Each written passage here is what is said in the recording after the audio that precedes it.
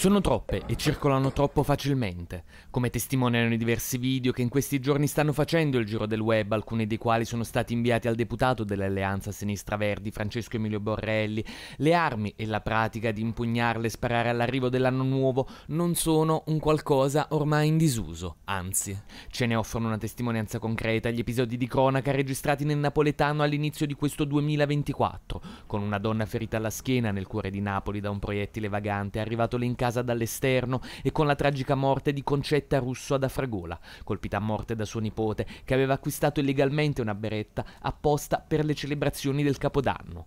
In merito si è espresso il primo cittadino partenopeo e sindaco della città metropolitana di Napoli Gaetano Manfredi. È un cattivo costume che resiste ancora in alcune zone di Napoli e dell'area metropolitana, ha rilevato il primo cittadino. Lo abbiamo visto da quanto accaduto ad Afragola e nel quartiere napoletano di Forcella.